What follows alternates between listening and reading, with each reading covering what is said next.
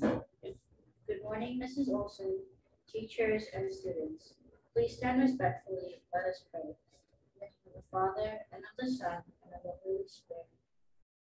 Heavenly Father, in your infinite love and mercy, we keep the prayer of your beloved servant Rita. Grace us from her favor through her intercession, which are considered impossible to human skill. Relying on your compassionate love, we ask you to assist us in our trials. But unbelievers know that you are the helper of the humble, the defender of the weak, and the strength of those who trust in you. We ask this in Christ our Lord. Amen. Glory be to the Father, and to the Son, and to the Holy Spirit, as it was in the beginning, is now, and ever shall be, world without end. Amen. For our school friends and benefactors, especially for Mrs. Castor, we offer our daily prayers.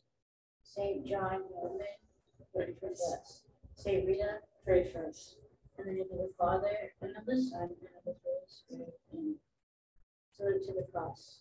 I pledge allegiance to the cross of Christ and to the church for which it stands, one holy Catholic and apostolic, with grace and salvation all. Salute to the flag.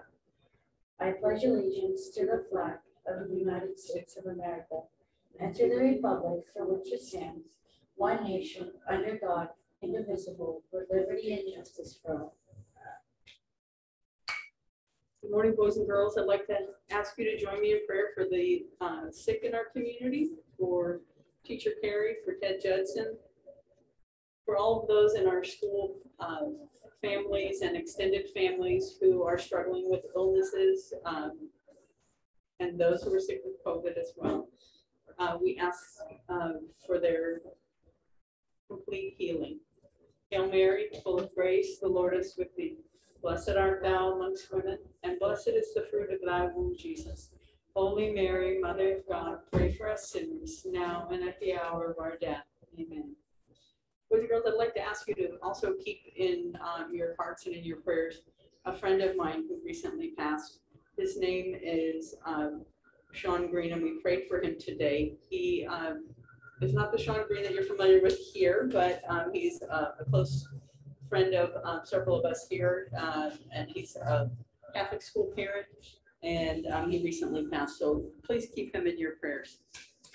Uh, today um, is a half day, as every Wednesday is, and teachers and I will be meeting um, for our faculty meeting. I'd like to let you know that next week we have um, STAR testing beginning, so you need to be really attentive to your um, sleep and to eating healthy meals and making sure that you are doing your very best to um, get the results that, the best results you can for your STAR testing.